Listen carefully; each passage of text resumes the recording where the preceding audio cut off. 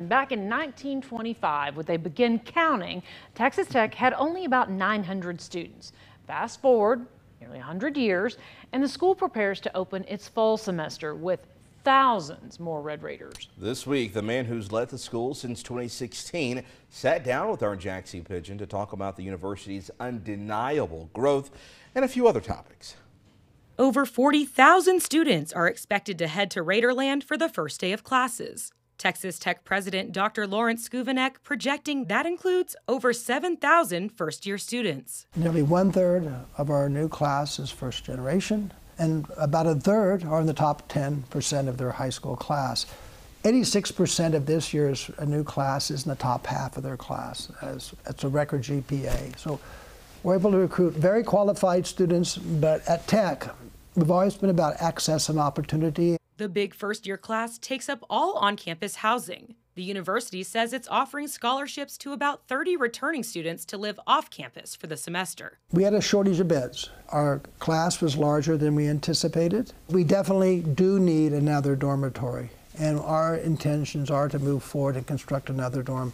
At this point, we're not 100% certain the location of the dorm, but it'll be somewhere along 19th Street. Schovanec looks at each new school year as a celebration of growth all made possible through his team's recruitment and retention strategies. We're looking at the demographics in the state, nationwide.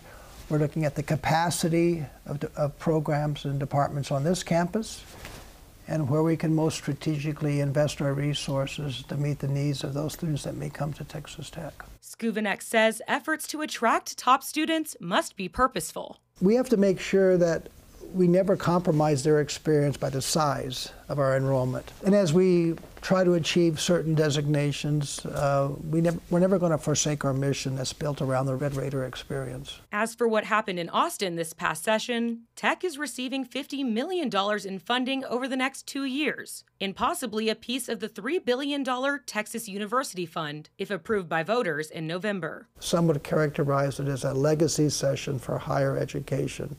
Schovanec says the state's support plays a significant role in helping students excel in the classroom and beyond. As we become more focused on how we're going to invest uh, the resources we received in this last session, we'll never lose sight of the fact that we're here fundamentally to educate these students and to provide them an exceptional experience. We've always done that, and that will always be our priority. And coming off of the school's Grand Centennial celebration, Schovanec is confident that the best is yet to come for Red Raiders. We celebrate our past, but we want to make sure that we seize the opportunities that are in front of us right now. Jaxie Pidgeon, KLBK News.